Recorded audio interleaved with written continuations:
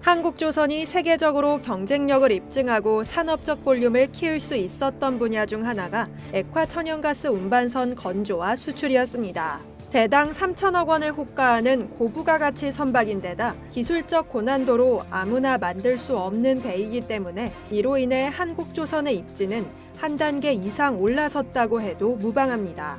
지난 18일 삼성중공업 거제조선소에서 한국의 500번째 LNG 운반선 명명식이 열렸습니다. 오리온 스피릿으로 명명된 이날 행사에는 산업통상자원부 장관도 참석해 그 의미를 함께 공유했습니다. 한국은 세계 LNG 운반선 제조 분야에서 명실상부한 최강국입니다. 현재 전 세계에서 운항 중인 LNG 운반선 680척 중 70% 이상이 한국에서 건조한 배입니다. LNG 운반선은 영하 163도의 초저온 액화가스를 안전하게 이송하는 기술을 보유해야 하기 때문에 전 세계에서 단 9개 국가에서만 건조한 사례가 있을 만큼 진입 장벽이 높은데요.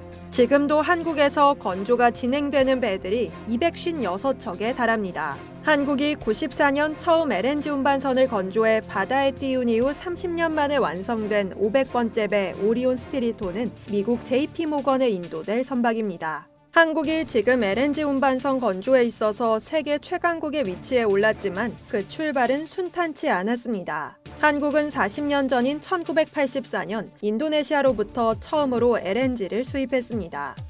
석유 파동을 겪으면서 에너지 안보에 위기를 느꼈고 가스는 원유에 비해 다양한 국가에서 수입할 수 있어 지정학적 위험을 줄일 수 있기 때문입니다. 당초 가스를 수출하는 인도네시아는 LNG 운반선을 보유하지 않아 임대하려고 했습니다. 그러자 한국 정부는 우리가 LNG를 많이 수입할 테니 빌리지 말고 하나 만들어서 운반하자. 그리고 한국조선사가 만든 LNG선을 사용하면 어떻겠느냐고 제안했습니다. 하지만 당시 한국은 LNG선 건조 경험이 전무해 인도네시아도 선뜻 이 제안을 받아들이기 어려웠습니다. 여기서 한국가스공사는 큰 결단을 내립니다. 한 번도 LNG 운반선 건조 실적이 없는 현대중공업에 발주한 겁니다. 이렇게 해서 1994년 현대 유토피아라는 한국의 첫 LNG 운반선이 탄생하게 됐습니다. 만약 당시 가스 수입 업무를 담당했던 가스공사와 정부 관계자들이 한국 LNG 운반선의 필요성을 느끼지 못하고 외국의 배를 임대해 사용하는 손쉬운 방법을 택했더라면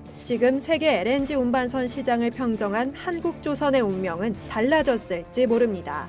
한국 조선사들은 가스공사가 인도네시아의 제안에 만들어진 기회를 놓치지 않았고 이후 실무자들의 안목, 조선업계의 부단한 노력, 끊임없는 기술 개발이 어우러졌기 에 94년 첫 번째 LNG 운반선 현대 유토피아 이후 30년 만에 500번째 운반선이 탄생할 수 있었습니다. 이제 한국조선은 LNG 운반선은 물론 쉐빙 LNG 운반선, 암모니아 추진선 등으로 기술력을 뻗어나가는 명실상부한 조선 강국이 됐습니다. 이상 여의도튜브였습니다.